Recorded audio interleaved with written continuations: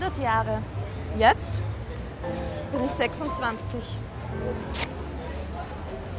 Durchschnittlich wird eine Frau 82. Nur zehn Jahre verliere ich, weil ich Raucherin bin. Das geht alles ziemlich schnell.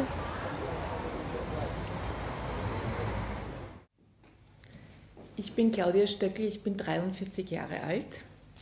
Das wäre hier. Und die durchschnittliche Lebenserwartung einer Frau ist bei 82 Jahren derzeit. Das heißt, diesen Weg hätte ich noch zu gehen.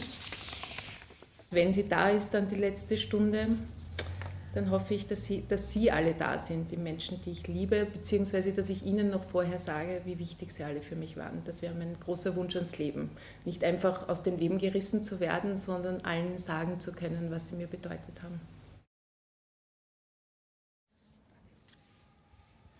Äh, jetzt, wo ich älter geworden bin, mit meinen 79 Jahren, bin ich nicht mehr so tapfer, wenn ich an den Tod denke. Allerdings aus meinem Glauben heraus weiß ich, dass es Auferstehung und Leben gibt. Und das ist meine Lebensphilosophie. Soweit ich kann, arbeite ich mit all meinen Kräften, dass ich lebe, dass ich noch etwas tun kann, dass ich noch für Menschen da sein kann. Und wenn es einmal soweit sein wird, dann hoffe ich, dass ich es schaffen werde, aus meinem Glauben heraus hinüberzugehen. Ich bete alle Tage am Abend vor dem Einschlafen den Schluss des Te Deums in Te Domine speravi, non confundere in eternum. Auf dich, o oh Herr, vertraue ich und ich werde nie zu Schanden werden. Ich hoffe, dass ich dann das Amen darauf sagen kann, wenn es einmal soweit ist. Ich bin Ferdinand O. Fischer. O steht für Otto.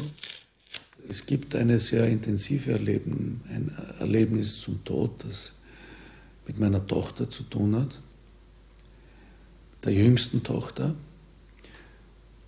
die nämlich bei der Geburt fast gestorben ist. Sie haben eine Stunde gebraucht, um sie zu reanimieren. Und ich weiß, wie ich dort gesessen bin, dass ich mit mir gerungen habe, ob es jetzt besser ist, dass sie diesen Kampf verliert oder ob es besser ist, dass ihn die Ärzte gewinnen, weil es ging nur mit fremder Hilfe. Ich habe auch gewusst, was es bedeutet, wenn Sie jetzt eine Stunde reanimieren. Das hat ganz klar bedeutet, es wird eine schlimme Behinderung geben.